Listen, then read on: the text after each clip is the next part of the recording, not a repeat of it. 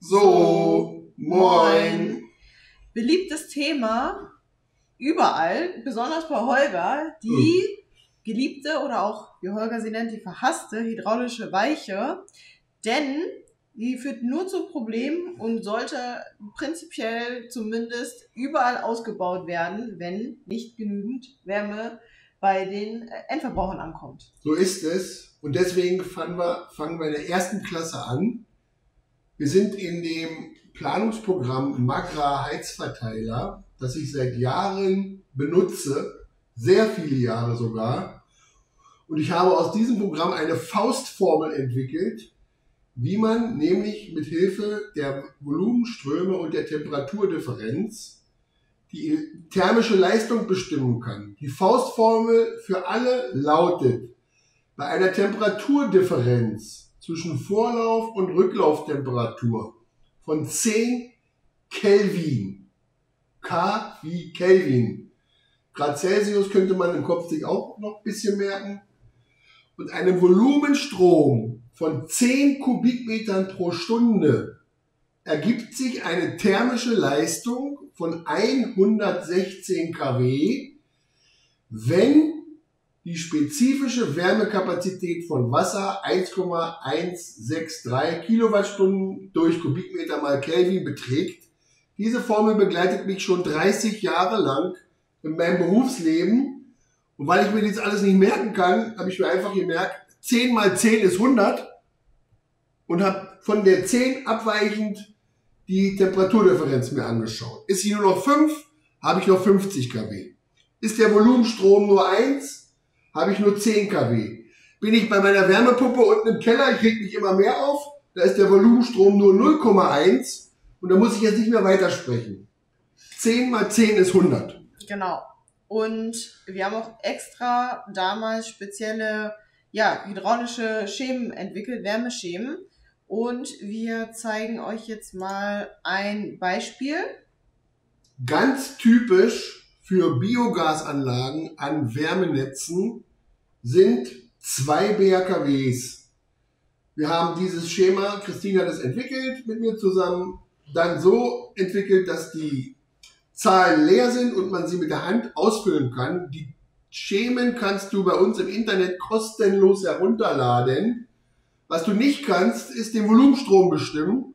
Es sei denn, du hast entsprechende Wärmemengenzähler. Dazu kommen wir gleich. In diesem Fall haben zwei BHKWs 14 Kubikmeter Wasser durch die Heizleitung und das andere BHKW 18 Kubikmeter gefördert. 14 und 18 ist bei mir 32 mhm. Kubikmeter, deswegen oben gelb in Summe fließen zum Wärmenetz heraus. Und, Und was jetzt, haben wir denn hier? Der große Aufreger. Puls 200. Eine schematische Darstellung für eine sogenannte hydraulische Weiche.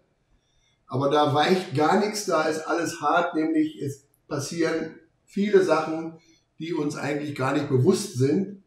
Schauen wir mal in das Video bei YouTube. Hier Vielleicht sehen, erst nochmal zur Erklärung, ja. wie die hydraulische Weiche funktioniert oder was sie bezwecken soll.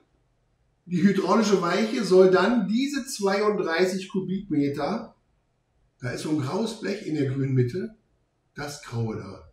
Das ist oft fest angeschweißt ein Lochblech.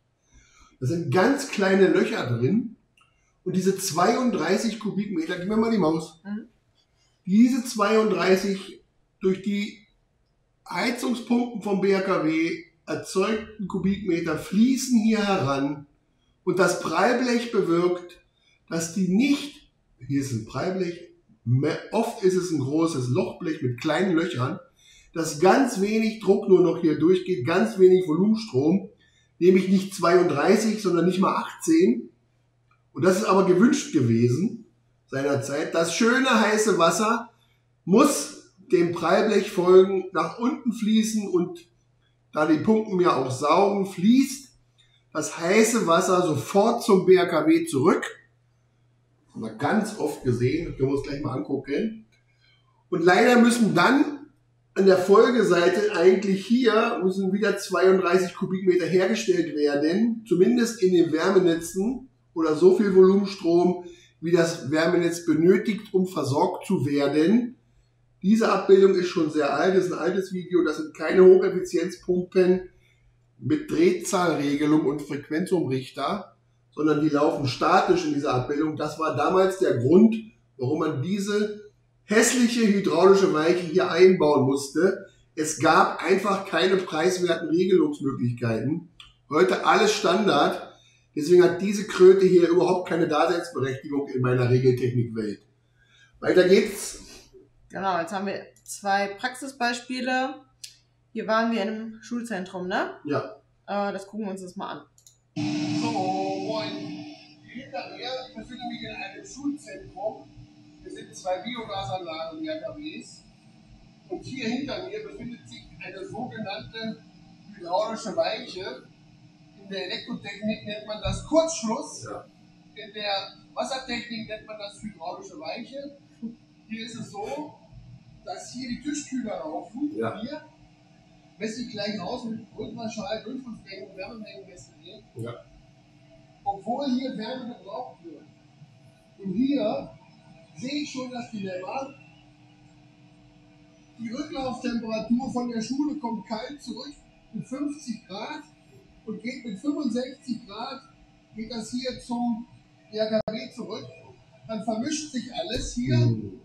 an der hydraulischen Mhm. Weiche und das teuer produzierte, das Biogas produzierte Wärme mit 90 Grad kommt überhaupt nicht an, wo es ankommen muss, sondern verschwindet an der Umwelt. Ja. Deswegen kommt hier jetzt der mobile Heizungsmonitor wird hier installiert für mehrere Wochen hier an den ganzen Messstellen, wo wir erkennen müssen, an welchen Stellen sind die Defizite und danach können wir schrittweise Ordnung herbeiführen. So machen wir das. Was war das hier? Das hier. Die Verbindung zum Stromfehltagebuch. Ganz neue Technik, preiswert ohne Ende, ganz schnell zu installieren. Vier Sensoren, ein so ein Ding, fünf Stück davon bist du fertig. Reinstecken, mit dem WLAN-Router verbinden und schon ist alles transparent. Hier, bei der Ja. Dame im Stromfehltagebuch, meine Lieben. Es gibt noch ein Video dazu. Das ist die Konsequenz. schließt du diese beiden Ultraschallsensoren an. Musst hier natürlich Kontaktmittel dazwischen machen, damit der Schall auch richtig in die Rohrleitung übertragen wird. Dann musst du hier die Rohrleitungsdimensionen in das Messgerät eintragen. Das Messgerät. Wenn du Wärmemengen auch noch erfassen willst, dann rate ich natürlich, die Vorlauf- und die Rücklauftemperatur auch noch mit zu erfassen.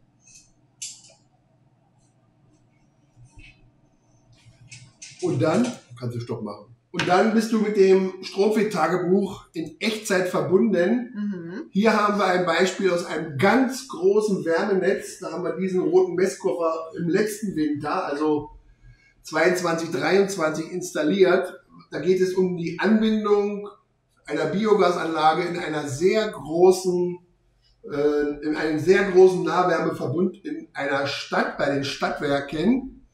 Und dort konnten wir ermitteln 90 Kubikmeter und die, die Last des Wärmenetzes auf zweimal 1000 kW Hackschnitzelkessel und wo die frei äh, wo die Freibereiche sind, wo die Biogasanlage, wie viel Kubikmeter kann die Biogasanlage, könnte sie überhaupt in das Wärmenetz einspeisen? Das war die Aufgabenstellung. Es geht darum, dass wir die Volumenströme für unsere Sch- Schemen kennen müssen, damit wir unsere Faustformel anwenden können, damit wir die Rücklauftemperaturen schön tief halten, aber auch nicht zu tief, damit die Tischkühler nicht laufen Mhm. sondern die Wärme in das Wärmenetz übertragen wird zur Nutzung. Zur Nutzung. Im Übrigen trifft das nicht nur für die Wärmenetze zu, sondern ihr wisst ja aus den vorangegangenen Videos, wir haben hier im Haus eine Wärmepumpeninstallation. Da sind die Querschnitte nur so, aber die Problematik ist exakt die gleiche. Wir haben auch eine hydraulische Weiche hier im Keller und hier ist Taktbetrieb angesagt. Schlimmer geht es nicht. Deshalb ist das besonders wichtig, dieses Volumenstrom diese Volumenstromkenntnis zu haben, Vor- Rücklauftemperatur, eben nicht nur auf dem Zettel, sondern hier in einer Visualisierung, die mir darstellt, wie sind die Verhältnisse eben aller verteilten Volumenströme und auch der erzeugten Volumenströme. Genau. Auch gerade die Kunden, die wirklich ähm, ja, große Wärmenetze ausgebaut haben, viele Wärmekunden haben, was ja mittlerweile, oder nicht mittlerweile, sondern generell sehr lukrativ ist, wo man sehr viel Geld mit einholen kann, sollte es natürlich auch optimal und 1A funktionieren, damit man da ja den größten Erlös mit erzielen kann, würde ich mal sagen. Ja. Und äh, es gibt aber noch eine Möglichkeit, das Ganze mit einer Kleinsteuerung zu verknüpfen, die dann auch noch ja, Signalgeber ist. In unserem Fall ist das hier beispielsweise die Loxone. Und da haben wir auch ein äh, Schema dazu. Hier ist quasi die Steuereinheit, die SPS. Und die misst Vorlauftemperaturen, Rücklauftemperaturen, die haben den, die Signale von diesem Wärmemengenzähler in den roten Messkoffer verbaut. Dann kann die das ansteuern, die kann die Mischventile ansteuern, die kann die Pumpen ansteuern. Sie kann eine Heizungsregelung ganz komplett ersetzen mit all den Vorteilen, die wir haben. Denn hier kann ja auch wieder die Strombörse reingehen. Und dann können wir Aggregate zusätzlich schalten und verwalten. Das beliebte Thema der Stromfee in diesem Jahr ist ja die Spitzenlast. Selbst dieses kann man parallel nutzen. Du musst jetzt nicht im Wärmenetz abschalten, aber in der Nähe sind bestimmt Aggregate, die nicht immer durchlaufen müssen und die bei hohen Strompreissituationen mal weggeschaltet werden. Die meisten Anlagen haben ja einen Pufferspeicher und dort kann man ja die Wärme erst einmal ablegen. Ja. Also, das waren, Zusammenfassend ja. kann man sagen, hydraulische Weiche ganz genau unter die Lupe nehmen. Wenn ihr Probleme mit der Wärme habt, äh, das nicht genügend ankommt und ihr eine hydraulische Weiche habt, dann ist das möglicherweise die Ursache der Fehler. ja, Dann könnt ihr uns auf jeden Fall anrufen oder schreiben. Kontaktdaten stehen unten.